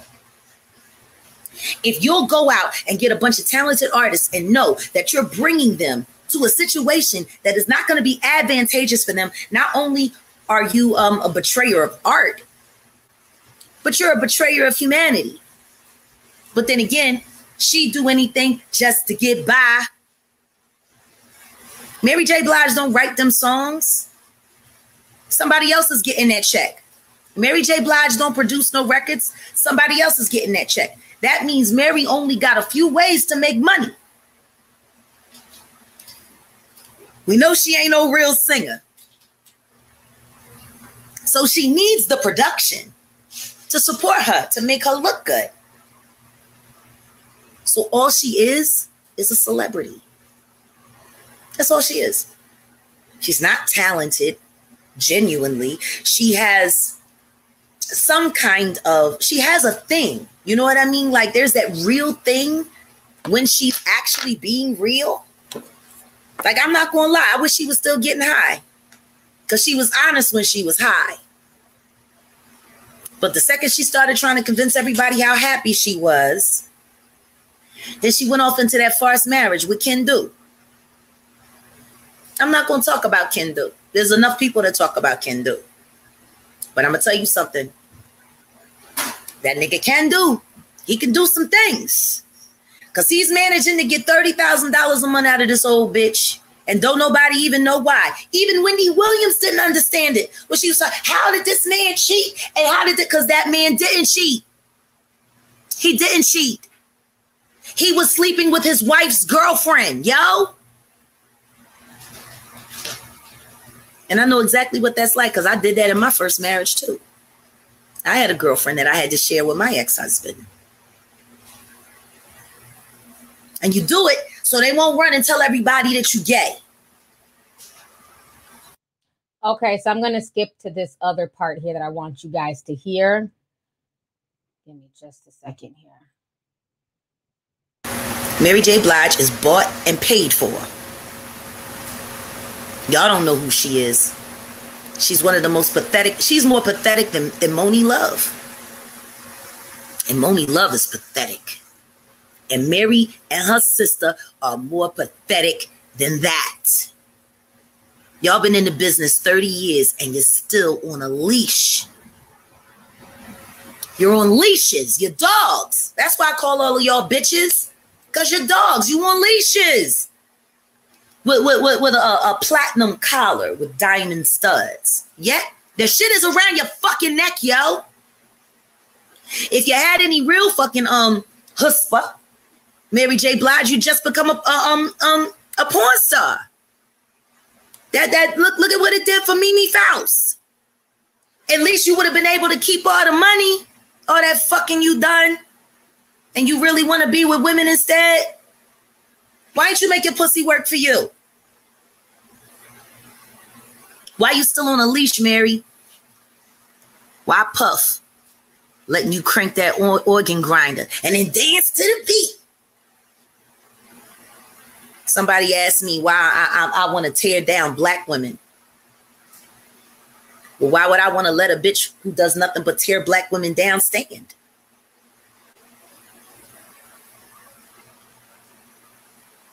Just because they do this shit in the background doesn't mean it's not happening. Everybody's just mad at me because they never thought that I would have the courage to admit all of my faults in front of the entire world. Okay, y'all. So let me go ahead and stop the video right there. Whoo wee! That was a lot to digest. And I'm I'm reading the comments as y'all were watching it. Um, people on Facebook are saying stuff. Um, on YouTube, a lot of people are feeling like she's bitter. You know, the stuff that she's saying is just too much. Um, let me see. Somebody sent a super chat. Dom sent 14.99 says, I had to disagree. Mary J can sing. I've seen her sing live. Um, Mary can sing, but I don't know about the other stuff though. So yeah, that was crazy. That was crazy, the stuff that she was exposing with her. Um, I don't I can't recall if I've ever heard that Mary J was gay. Just to be honest, but I have heard from a really close friend of mine who had worked like on tour, um, you know, like backstage setting up and stuff, that she had a really nasty attitude. So I have heard that because he was a huge fan of Mary J. You know, even brought his aunts backstage to you know meet her, and her attitude was just really nasty. So I have heard that, you know, like I said, but the other stuff, um, I've I've never heard it. I never heard about people assuming she was gay. They're saying that the little young girl that Kendu supposedly cheated on her with was Mary J. Blige's girlfriend. That's what she's saying. So that was kind of crazy. So let me go ahead now. Let's talk about um, the Puffy situation. Let's see here. Dad is saying, let me say something too. At least three other stories about Diddy. My phone's on the label. Identical stories way back in 2000. Okay, so let me go ahead and play this stuff about Puff. Let me go ahead and find that clip here. Make sure I have my timestamp.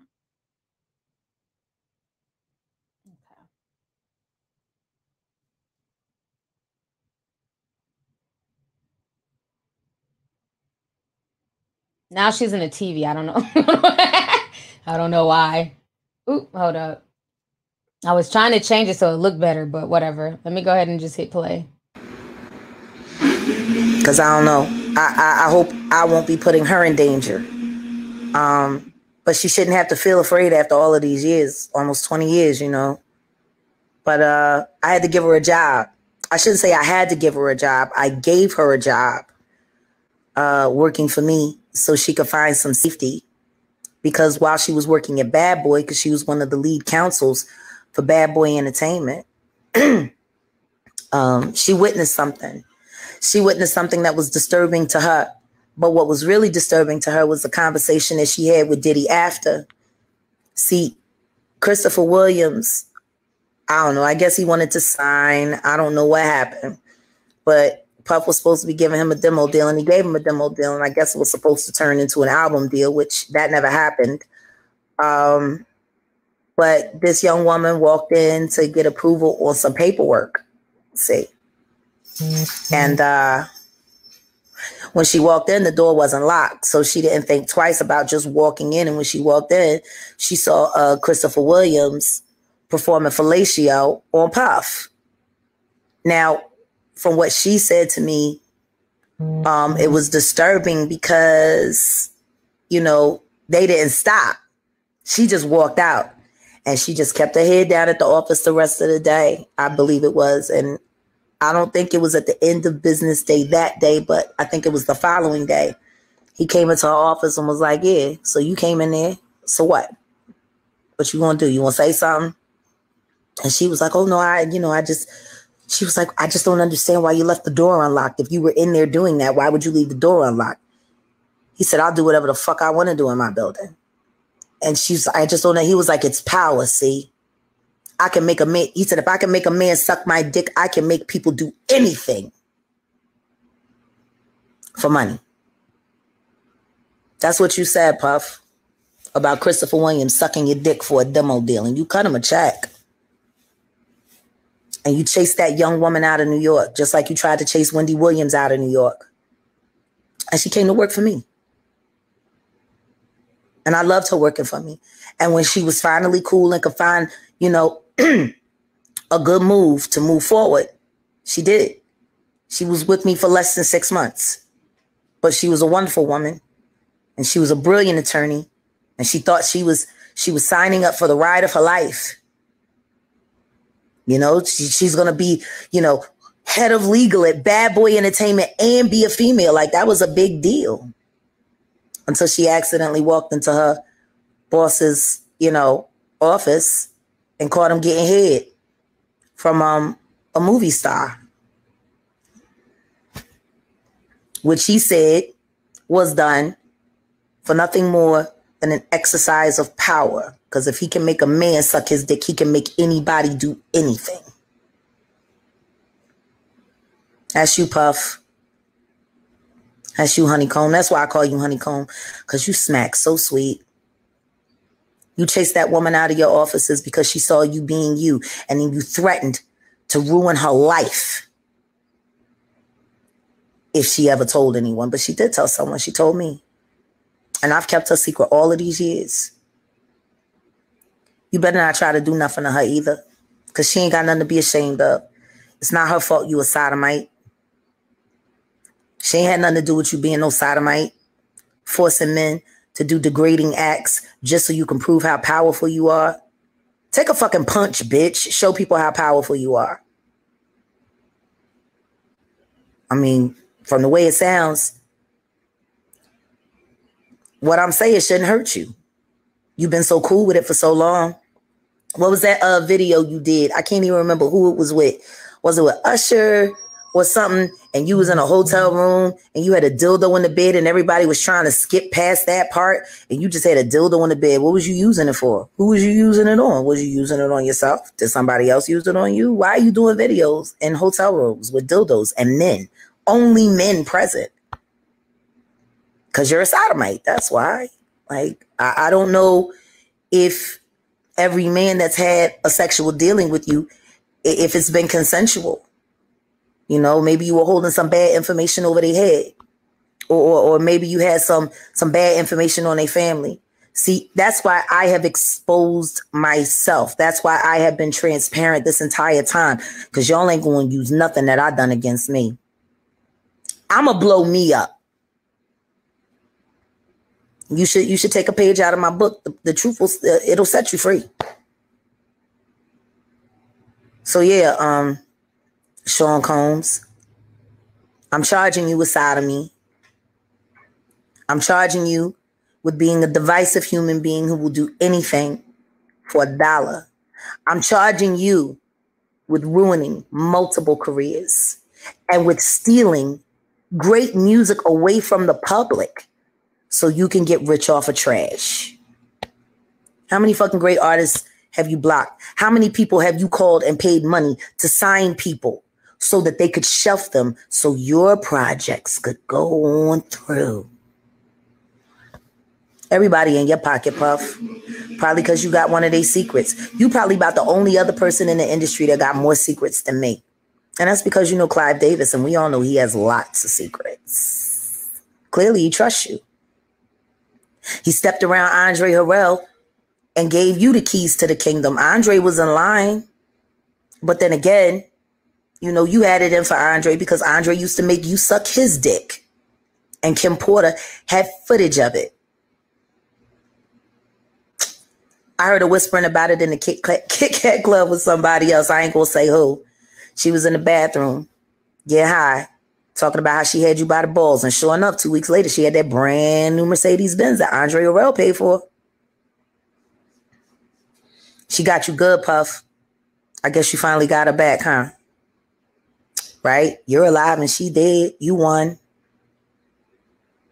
See, what? Oh, wait. All right, let me come back on the screen, honey. Mm. That was a lot. That was a lot to unpack. that was a lot of stuff said. Um now let me go ahead and say this. Let me let me be very let me read these super chats. I'm gonna get into what I had to say. Um, Aisha Taylor says, Hey T, thank you for helping me become the woman I am today. You have truly shaped my mind for the better. I'm now 23 and I have been watching since I was 15. I could go on and on, but I will DM you instead. Thank you so much for that wonderful message. I really appreciate it. And that makes me feel good to know that I've been able to do something like that, you know, unknowingly. So thank you so much. I really appreciate that. Um, so yeah, it's it, God. This whole I don't even know where to start with this whole Jaguar Wright situation. So one, that was a lot of tea spilled, right? But let me say this. There's a difference between spilling tea, and y'all know I'm no Puffy fan. I keep my little foot on Puffy anytime there's a Puffy story with him, you know, shitting on artists or not paying what he owes. You know, like Puffy, have you gave, you know, Mase his publishing yet? Has he seen a check? There's tea like that where we're talking about stuff that's just, you know, more out in the open. We all know he's a shisty businessman when it comes to, you know, not paying artists and and trying to keep people in these ironclad contracts and things like that and even like the gay rumors that those have been around about Puffy since the 90s, since when Wendy Williams was reporting on it. you know, because Wendy Williams was dropping a lot of tea back in the day. So those rumors were not new. The thing with this is with Jaguar Wright? this is kind of disturbing because at, at I, am watching this and I and I've grown to like her. I didn't know much about her before she started spilling tea and and you know talking about her situation. And when she first came out and she was talking about how they did Malik B from the Roots wrong and she was blasting the Roots, I kind of understood it then.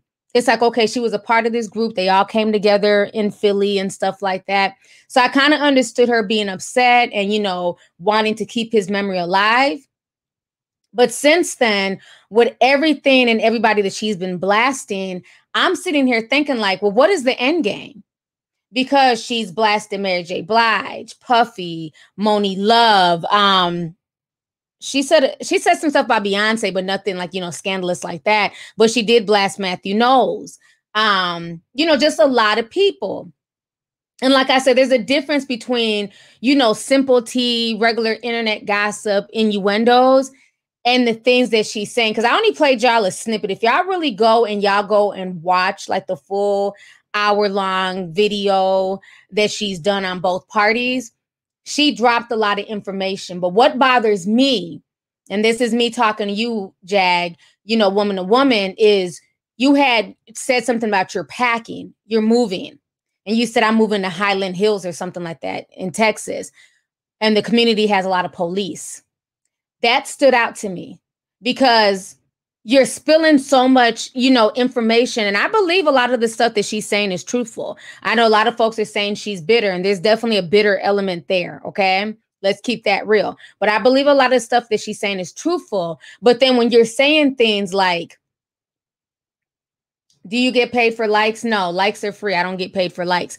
The likes help because there's a lot of likes on the video. It it it helps the YouTube algorithm to bring more people into the stream to say, hey, this video has 5,000 likes and 14,000 people watching. You might want to go check out this stream. So that's why we say hit like.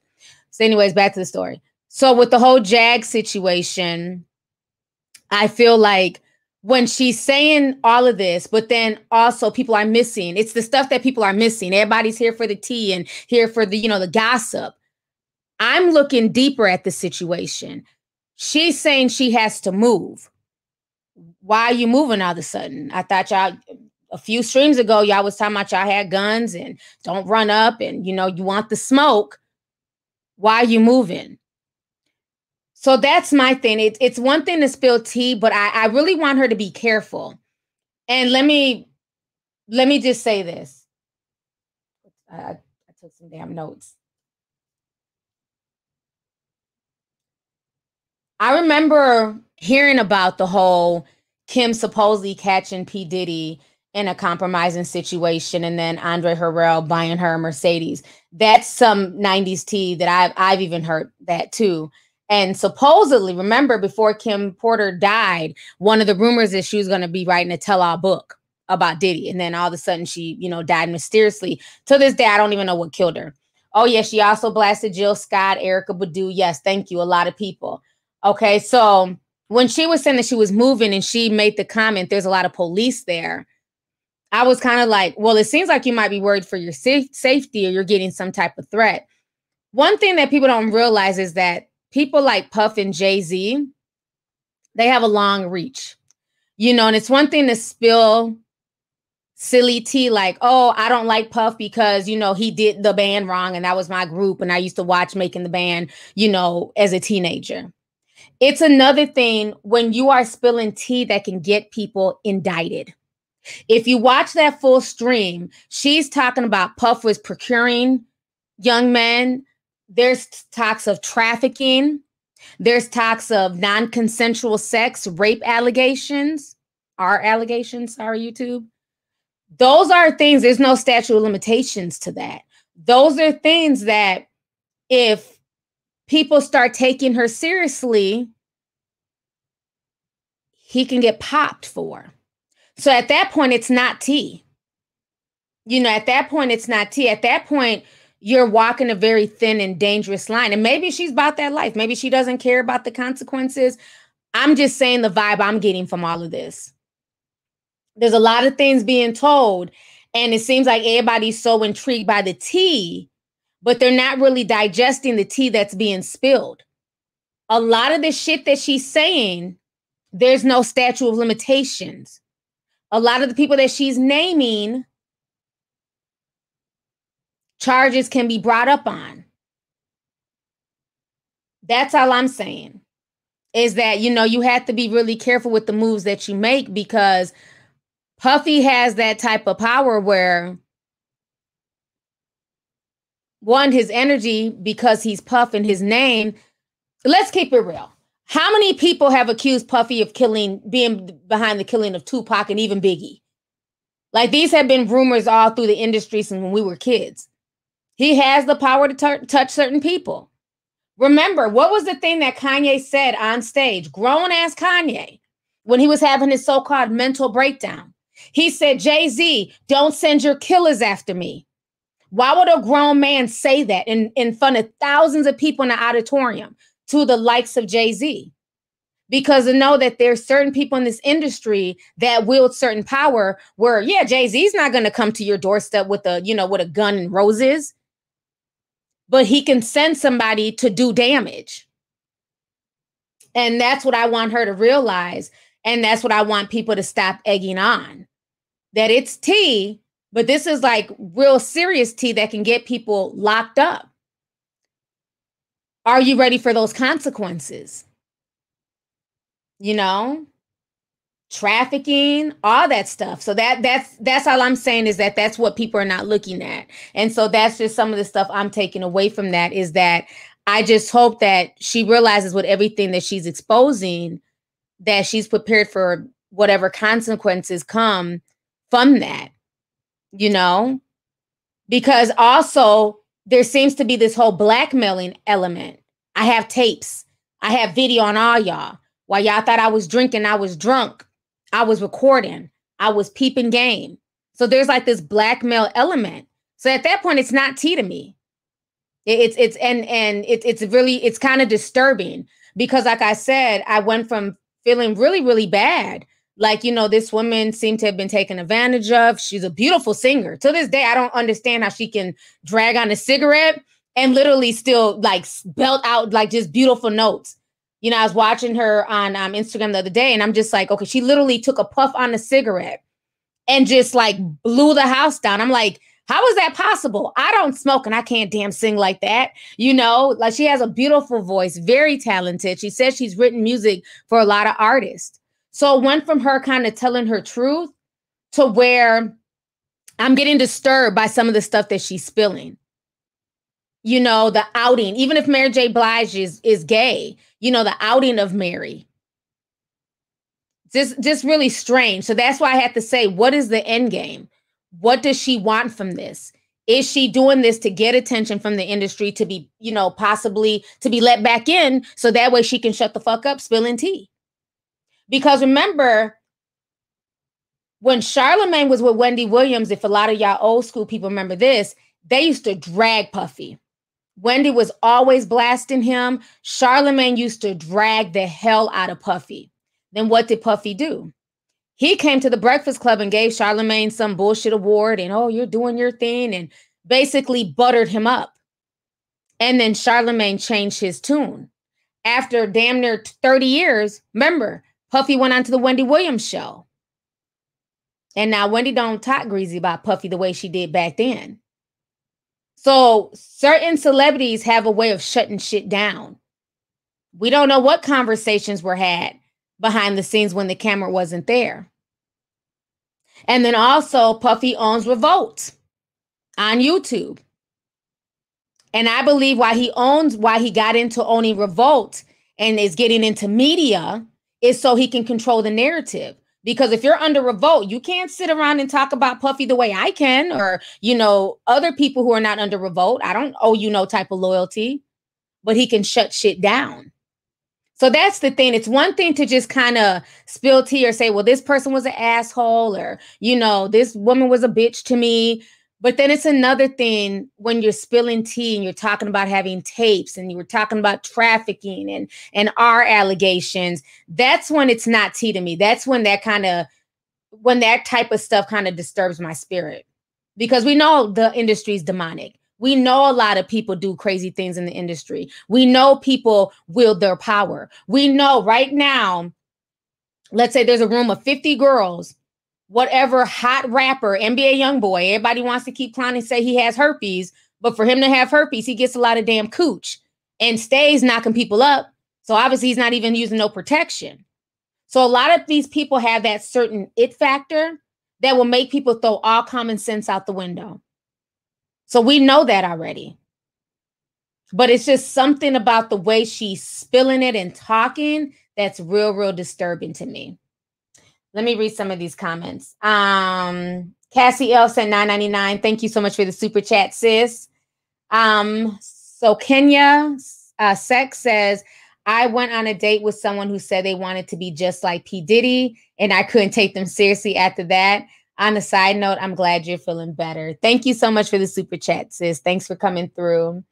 Um, Beanie says, You crack me up, T. I love your lives, and I watch you even when I don't care about the topic. Thank you so much. I'm glad. I'm glad I can make you laugh and smile. And thanks for supporting, even if you don't even know who the people are that we're talking about. I appreciate it. Um, Rainia Larina says, I'm late, but I made it. Hey, sis, thank you for coming through. Um, it looks like the people were saying that the the stream kind of froze. Not the stream, but I think the the chat box kind of froze. Somebody said the FBI is downloading, it's downloading all her videos. Yeah. I mean, it's a lot that's going on. It's a lot of stuff that, you know, that was implied and that was said. You know, like I said, I'm not saying that she's lying about anything specific or, you know, saying that she wasn't, you know, being truthful. But I, I just kind of, when I watch people and when I listen, I listen with full ears. So when you're spilling all this tea, supposed tea, because this is more serious than tea, and then you're saying that you're moving, that that kind of raises alarms to me. Um, Tonia Sample says, T, I've been listening to you as well on a deeper level. I know she has been beefing with MJ Blige for decades. For those old enough to remember, I'm a day one Mary J. Blige fan. However, I believe what's being said. Mm, I didn't know they were beefing. Um, yeah, I didn't know that, but thank you for that T. So that might play a part in it as well. Um, Sin Kawaii says, T, I just caught your live. And yes, you're absolutely right. Joe Budden has said that he works for Revolt and don't want to get fired talking about Puffy. Oh wow. I didn't even I knew he worked for Revolt, but I didn't know he had said that. So yeah. And I believe that that's why a lot of these celebrities are now getting into commentary. I've been saying that for a while. Um I know Naomi Campbell recently did an interview with Mary J. Blige, which I thought was funny because Mary J. doesn't really interview. She doesn't really do the social media thing. So to see Naomi Campbell interviewing her, and I didn't watch it because I don't fuck with Naomi Campbell. I don't fuck with people who are on Jeffrey Epstein's list who have pictures with him. And, you know, like I said, like her whole aura just disturbs me. So I'm, I'm no fan of Naomi Campbell. I don't give a damn. So I didn't watch it, but I saw it in my recommended and I was like, oh, now they're interviewing with each other. Interesting. After Jaguar Wright was just blasting Mary J. Blige, now she's interviewing with Naomi and they're doing they're talking about i don't know look like the title was like love or relationships or whatever so i thought that was really interesting and i feel like that's why a lot of them are now becoming commentators you know because remember these supermodels in the 90s when we were growing up these were the same bitches who said they wouldn't get out of bed for under $10000 a day and it's like well damn my mama got to work every day to put food on our table you know i'm sorry my mom wasn't born you know six foot one you know a size zero but that was the attitude back then. They had such a, you know, air about themselves. A lot of people back then. I thought was very interesting. Um, that hold on. Somebody said that Naomi, hold on. Someone on Facebook was writing something. Jeffrey Epstein, Puffy, Prince Charles, Bill Clinton are all in the same boat, right? So I, that's why I find very interesting and that's why I've been saying for a while, this is why a lot of these mainstream celebrities are now trying to jump into the commentary game because it's almost like a, a safety for the industry. Because a Mary J. Blige will feel comfortable going to interview with the Naomi Campbell because they have that rapport. They've known each other for years. They're in the industry. And she knows whatever questions that Naomi's going to ask her, they're going to be superficial surface questions. You know, they might go deep in certain aspects, but it's not going to be anything, um, it's not going to be any deeper than what Mary will allow right? Everything will be pre-packaged, you know, pre-questions, things that Mary and her publicist can go through. Whereas if she comes on a platform, let's say like mine or somebody else who's not of the industry, I'm going to ask you real questions. Like, you know, rumor, you know, word on the street is, you know, you and Kendu like he really didn't cheat.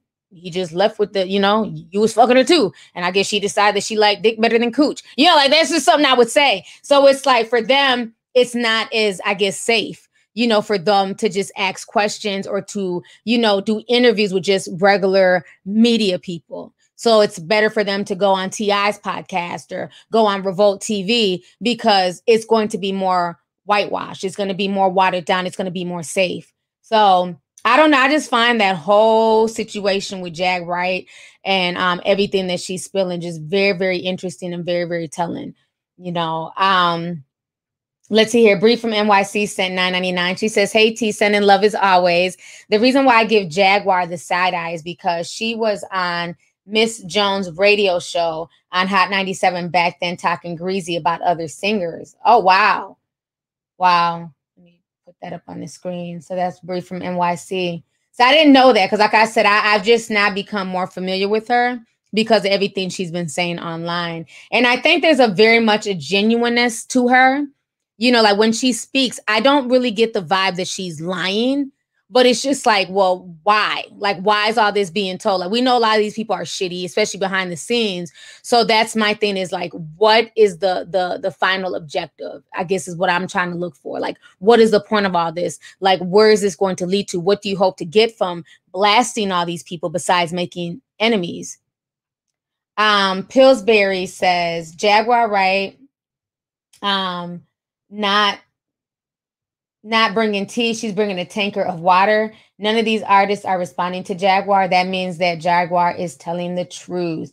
Yeah like i said i don't think she's lying about a lot of this stuff. You know i feel like a lot of it is truthful but the issue is it's just it's the way it's coming off you know is why i question it.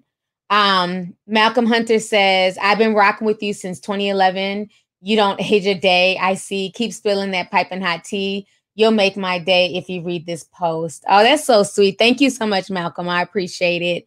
Thanks for coming through and spending the day with me here. Um, let's see. They're running to these celebrity interviewers, and the entire interviews be nothing but softball questions. So Mims 01 wrote that, and that's the truth. It's always watered down stuff.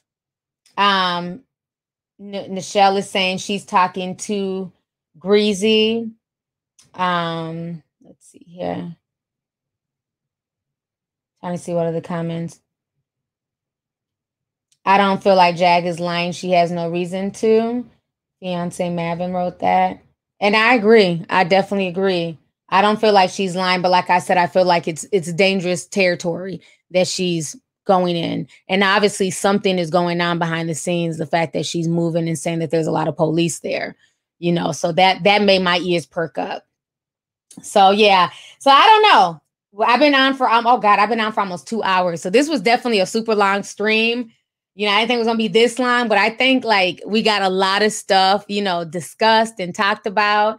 Um so i really enjoyed this stream. I'm really glad that everybody was able to come through and we didn't have you know too many issues today with youtube um, so I think I'll just be using StreamYard until they can figure out whatever the hell they got going on on YouTube Live. So on that note, um, let me see. I got another super chat. Let me read this real quick. Um, Stephanie Brown says, "Hey, internet sis, looks stunning per usual. Super late. Love you. Thanks for shouting out my daughter the other day. Our birthday is Libra seasons. Blessings to you and your boys. Thank you so much, sis. I appreciate it." And thanks for coming through. I'm glad you were able to catch the stream. Um, Shayla Porch just joined the membership. So yeah, shout out to everybody who joined the membership today. Um, the new link will be posted, and Um, if you don't know, like I was saying at the beginning of the stream, we're going to be doing our movie night this Friday. So definitely join us for the movie night. So on that note, somebody said Clive got killers too. Shit, they all do. Trust me, they all do. And that's the part, like, you know, that folks need to be careful about because you just never know who these people have connections with in the streets. And a lot of them are so high up, they can make shit look like an accident and you never know it, you know? So you notice when Al B. Sure caught himself trying to spill that tea, he herp and backtrack. He got real quiet when he tried to spill that Kim Porter tea. So yeah, Puffy is definitely he he's definitely powerful and he's gotten away with a lot of bullshit. Even when she was talking about that Howard situation, that was deep. I didn't realize he didn't have permits to throw them parties. And he was in charge and people died. People died during that stampede. So, yeah, he definitely has some connections. So, on that note, you guys, thank you so much for joining me. I've been on exactly two hours. So, I'm going to go ahead and get up out of here, but I appreciate it. I'll talk to you guys later. You guys enjoy your evening. Bye.